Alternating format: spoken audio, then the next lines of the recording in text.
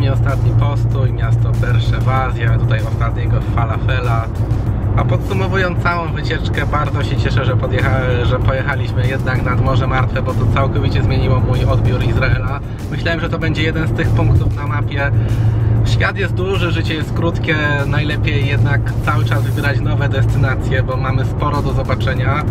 I myślałem, że Izrael będzie z tym jednym z tych miejsc, do którego prędko nie wrócę. A jednak chciałbym tutaj wrócić. Muszę jechać jeszcze raz nad Morze Martwe. Na tyle mi się tutaj spodobało, że chciałbym to przeżyć jeszcze raz. Uczucie jest niesamowite. Uwielbiam robić coś po raz pierwszy. I mimo to, że kąp kąpię się już ponad 30 lat, to była wyjątkowa kąpiel, zupełnie, zupełnie inne uczucie. Naprawdę każdy powinien to przeżyć, polecam. Ostatni raz chyba czułem się tak e, latając w tunelu aerodynamicznym parę lat temu w, w Singapurze. Super sprawa.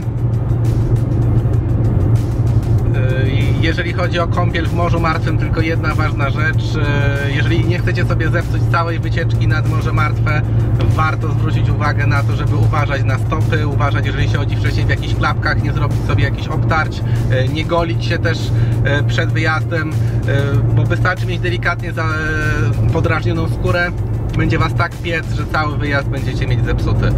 Yy, Więc to jest ważne. Parę dni przed nie golić się, uważać na różne zadrapania, otwarte rany. Jeżeli macie takie, takie sprawy, to nawet nie wchodźcie do wody, bo wyskoczycie, wyskoczycie jak poparzeni. Czas na obiad, ostatni falafel w Izraelu. Idziemy do knajpy, która nazywa się Green Falafel. Podobno najlepsza w mieście.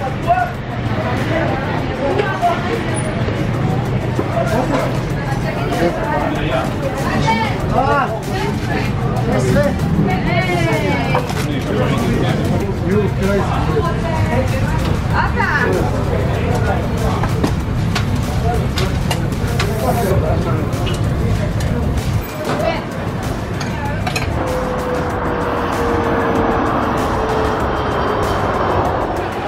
lotnisko warto przyjść wcześniej, bo są strasznie skomplikowane kontrole, ale nam się pomyliło, jesteśmy dużo za wcześniej.